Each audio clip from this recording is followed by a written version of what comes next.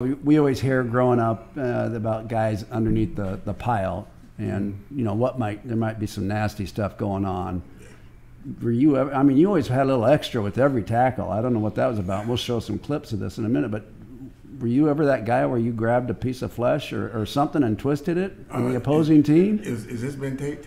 No, no, no, no, no, it's no, not. no, no. So you know what? It was. You would have, you know, especially in the NFL, uh, linemen, you know, and, and talking trash, you know, um, and my way, okay, you know. So I, I've I've snatched a couple face masks, and you know, I dug in a couple eyeballs. Somebody that deserved it.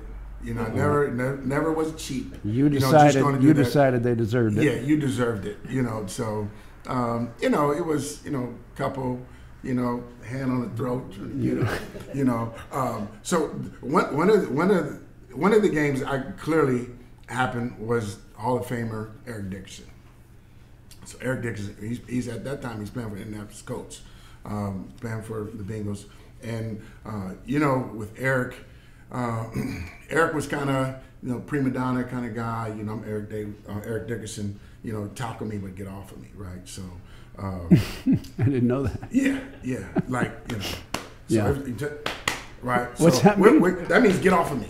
You know, bring me down, and you know, you know. So, you, You, you don't. so, so here we're first half, and I am.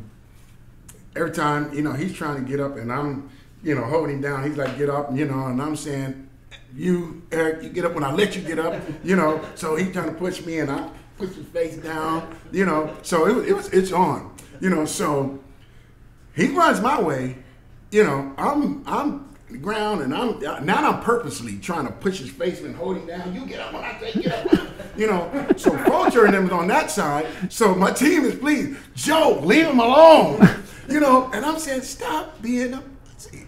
you know, Eric, you know things. I get run it. I'll give him the ball again. I'm gonna get him, you know. So this first half, so he's he's pissed. I don't know. He had, I don't know, I don't know, 40, 40 something yards first half. He ended up the game with 211, something like that. He didn't get against me. You know? So those guys like, Joe, you know, Thanks, if you would have shut up, man, he wouldn't have did that to us. You know, but he was just, you know, he was one of those guys that I, I love playing against him. You know, you know, I mean, he is the greatest. Who was the most Right. influential coach in your career? in pros? Anywhere, little league to pros. Um, uh, I had, I had my high school coach, uh, uh, uh, Coach Littlefield, Coach Arbuckle, and then you know DJ and Lambo. Uh, NFL was, you know, I, I, I would say, you know, Sam. I liked, you know, Sam, you know, Wyche, but still, I, I didn't, I didn't have an NFL. Sam who? Sam Wyche. So the a the head coach for Cincinnati. yeah. Okay. Um, I liked Ar- Art Shell, and I, I, I love playing uh, for Coach uh, Chuck Knox. Sounds like a lot of them. Yeah, but it wasn't. It wasn't. When were you with Knox? Uh, in '90 with the Rams. You know, I went from the Raiders uh, uh, to the, uh, '93 and went to the Rams in '94. It was Chuck's uh, last year, and that's when. Uh, so that's when I really got to know Chuck. Um, that was that was the last year coaching. We were uh, going around uh, uh, Los Angeles there with the Save the Ram campaign. campaign. So his thing was if the Rams had stayed in LA, he would re- remain the coach. Uh, but if they sold, you know, he was retired, and that's what he did. What did you know. like about him? He was just, he was just, he was a player's coach. Um, uh, you know, as long as you went and you, you know, you, you practiced hard, you knew what you were going to do. Um, uh, but I, I probably liked him the most because that's when I started drinking whiskey. So you know, coach and I used to, because I, I, I was drinking Hennessy and we were at the bar and I ordered some, um, I don't know, some Hennessy and he's like.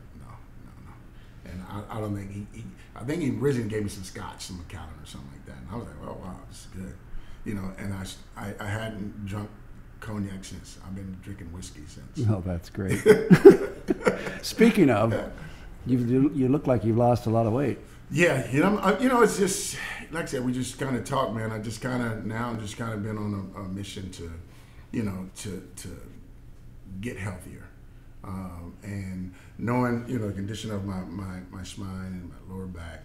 Um, I'm even just losing weight, just how uh, much more relief on my lower back Um, so you know, my, my goal is, I, you know, I've always kind of threw out, okay, I, I need to lose 30, 45 pounds, and then you know I lose 10, and then and, you know to kind of go through the motions. So now it's just kind of like now just adapting this this lifestyle stuff I eat, you know, um, intermittent fasting and things like that. But I'm my body's kind of used to it now, you know. Um, so you know, just on a you know mission, man. To, you know, I want to I want to uh, be able to go to the beach and take my wife beater off. That's that's my goal. Bleep. Yeah. yeah. So. Uh, So, uh, um, Jock was in here Monday, nah, mm, and he said, if, "I said anything you want to ask Joe Kelly." He says, "I want to challenge him to a weight loss." let's go. Let's go. So, baby. do you want to get on a scale? Yeah, And yeah. we're keeping the numbers private right Yeah, now. yeah, And yeah. as a matter of fact, I got the, I've got the scale set on kilograms. yeah, yeah, yeah. Right, So, right, right. so if you want to get on the scale, Yeah, I'll take yeah. the note, and then Yeah. we'll go like six months, six months, yeah, nine let's months. Do yes, do it six months. You six want to do? Uh, is there something to pay a payday at the end of the road? A dinner or a, Uh, yeah. a we- Macallan or? Yeah, I don't. I don't know if Jock drinks or you know a, a dinner or you know. We'll figure that part yeah, out. we'll figure it out. All right. Well, let's get you real quick. I got the scale right here.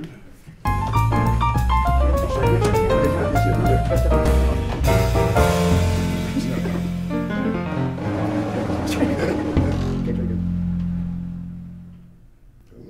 got some rocks in my pocket. Well, that, that's what it is. That's why we don't put it on. Right. Yeah. That's between us. Yeah, that's right. That's right. That's- Birthday meal. Ah, Birthday meal. yeah, yeah. No donut. Uh, biggest celebrity you've ever met? Denzel Washington. Oh, is that right? Yeah, Okay. yeah. So um, um, I don't know. If, well, I don't think James Mitchell. Uh, we called him Big Mitch. He was he was on uh, he was here, but I think he might might have. No, Mitch was on the team, our Orange Bowl team. I don't remember. James Mitchell, he was walk on walk on guy from New York, What position? uh, D line. Okay. So Big Mitch uh, from New York. Um, and you're sure he was in the Orange Bowl? I think yeah, he was on our yeah he was on our team. Okay. Yeah, yeah. Um, you know, uh, practice squad guy, uh, funny funny guy. But he actually based in New York. So when I um, I got traded up to uh, the Jets, I was playing up there, and uh, he was actually working on the set of Malcolm X uh, when Denzel was making it. So uh, he invited, you know, invited us to uh, the set, and you know, actually had to, you know, an opportunity to go in his dressing room, you know, between, you know, takes and sit there, and you know, he's just talking about how much he admired, you know, uh, football players, and um, you know, my, my wife at the time, we're sitting there, and you know, it's Denzel Washington, and I'm like, you know, man, I had great meeting you, and, and she's over there, you know, I'm hitting her. Think about getting know, rid of you. Speak, you know, you know, and, and you know, but he was just laid back, you know. Mm-hmm. Um, you know, we were we were on the set. Uh, we stayed. We, we went like three days in a row. You know, so that was just meeting him was the coolest. How about the best live music performance? The best live music performance. Prince, man, Prince. Where- I've been seeing where and Prince. when? Uh, uh, uh, seen Prince uh, in Cincinnati, uh, and uh, we had uh, front row seats, and uh, I think you know Prince was probably as tall as his table, uh, but he had I don't know 12 inch heels. I missed. What year did you say? This was this was um, I want to say I was in Cincinnati. For your first eleven. Yeah, uh, it was early 2000s, I think. Yeah. Uh, you know, but just seeing him, just how talented, you know. Had great seats. Yeah, awesome seats, Yeah. front row. Yeah, he was just, you know, just musician. He was a musician, Right. you know, just talented, and just his his collection of, of music, you know, is is on par with you know Michael Jackson. Everybody, you know, Mhm. he has a collection of music that's ridiculous. hmm So. Um, Ickey Woods. So, if you don't mind me prefacing this, Yeah. so Joe had a, a bachelor party Yeah. in Pioneer Square, a couple Yeah. blocks away. uh-huh. Yeah. and of course, I'm going to Joe's bachelor party, and I was the only Caucasian, not at the bachelor party, but in the bar, I think. Yeah. Yeah. Yeah. Yeah. And I was sit, sitting at the bar, and um, everybody's dancing, and everything's good. Yeah. And there's a gal two or three seats down, and um, she looks at me and I look at her and I said, "Do you want to dance?" And she says, "Sure." And I, I consider myself a pretty good dancer. Just keep your feet close to the floor, right? right? Once you start picking up your feet, right, you're right. done. You're done. You're, you're that you're that guy that can't dance. So. And so we're on the dance floor, and um, Ickey Woods, who, how tall is he? Came up to like. He's, he's six, six, was he? six one and a half. He didn't seem yeah. too intimidating, but he yeah. he came up and got in my face and said, yeah. "Don't you ever, you know, dance with my wife again?" Yeah. And I didn't do anything disrespectful, and we had our distance. Mm-hmm. I just wanted to dance. Yeah. And so I go back to the bar and a couple more double whatever liquid courage. Yeah. And I'm thinking, God, that guy was kind of rude, you know? And I look down and boy, there's his wife again. And she looks at me and I said, you know, let's do it. so we go back on the dance floor and it's a respectable distance between the two of us.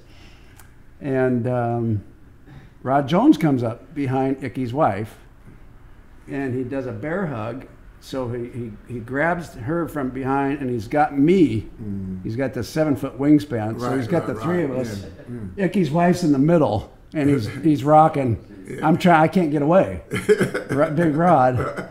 Here comes Ickey. Oh my God. Oh my God. Yeah. It was on. Yeah. And I think I think Joe saved me and Vince Albritton. Yeah, yeah. You know, he was. But I had to leave. Yeah. they saved me, but I had to leave the premises. Yeah, he's uh, he's a good dude. Yeah, I'm actually I'm actually president of his foundation. Oh, is that right? Yeah, yeah. What's it called? Uh, the Jovante Woods Foundation. Uh, for people that don't know, his uh, his son Jovante, uh, his junior year in high school, um, you know, he was getting recruited by all Big Ten schools, football. You know, ran track, um, but football was primarily sport, and he um, had asthma and um, uh, after uh, one of the two day two day practices, he was he would he was the kind of kid that jogged home, you know, between practices to mm-hmm. stay in shape, and he jogged home. And uh, uh his his younger brother Aubrey was the only one there, and uh, he was having started having an asthma attack, and had his inhaler, but it was out. Mm-hmm. So he went to use the inhaler. It was out, and uh, Aubrey called. We were playing golf uh, and Aubrey called Ickey and said, um, uh, you know, uh, Jovante's having a, an asthma attack. So their friend next door had asthma as well. So he just told him, well, here, go borrow this kid's thing. So he goes out, he goes out uh, uh, the building, and so they're just kind of sitting there. Um, we're not, we're not thinking, mm-hmm. you know, nothing. And uh, it's like, well, I'm gonna go. Let me go check it out. And um, he told Aubrey, he called him maybe about 10 minutes later, go check on him, you know. So he opens the door and he was right there. So he never even made it to the friend's house, um, you know, to go get it and uh, called the ambulance. And uh, by the time the ambulance came, he had he had been with, without oxygen. I don't know, 20 minutes, you know, and, and, and, you know, they rushed him to the hospital. And, you know, the great thing about it, you know, we had you know, all of our teammates, you know, Cris Collinsworth, you know, Cris Collinsworth, we were roommates. Um, Anthony, everybody was there at the hospital, uh, and you know, he was there for um, three days on the on the ventilator, uh, and uh, they didn't have any brain activity, and probably, I would say, probably one of the hardest things I ever did. He asked me to go in with his family, you know, his, his wife, and you mm-hmm. know. Uh, uh, go into the room. They were going to pull the plug just to see if he can. You know, that was the only way to see if we are going. To, you know, he's going to survive. And uh, going in there, I would say that one of that was one of the hardest things I ever did in my life to to be able to hold it because he they took him off the ventilator um, and they, they gave him 20 minutes. So you imagine, and I'm looking at this kid, physical specimen, you know, Looks fine. Um, yeah, you know everything looks fine, but no brain activity. So they take him off, and then you know everybody's praying and all that stuff, and you know praying and crying, and I'm you know I'm holding him, trying to, because I can't, because I got it, and then you know you hear uh you hear uh, you see the the, the monitor, heart monitor, mm-hmm. baby, you know, so you get that rush like, and then it just went, and you know that was it, and they just you know, of course, you know, it fell out and hugged him and kissed him, and you know, I had to keep it together. you know, that was, What's that the name of the tough. foundation? It's called the Jovante Woods uh, Foundation, uh, and um, you know, donated you know over two hundred thousand dollars to Children's Hospital of Cincinnati. Uh, you know, when he died, he donated uh, six of his organs. Uh, so you know, it's, it's part of you know organ donation, um, but just asthma awareness and and what people don't know, uh, asthma is one of the number one killer in the African American community uh, with you know African American youth. Asthma, and nobody thinks asthma as as being A killer. a killer. You know, it's asthma. You, thinking, you know, it's it's it's one, one of the number one uh, causes of death uh, in African American community. So you know, just go out and you know uh, raise awareness for for asthma, and you know we have uh, two um, two uh, golf tournaments. Have a golf tournament. Matter of fact, Monday Okay. uh, in Cincinnati. Then we'll have one the following Monday in Dayton, Ohio. So you're on the board? I'm the You're president. president of that. Yeah. You run Mhm. Kelly Youth Services. Kelly Services. You know, it's, Uh,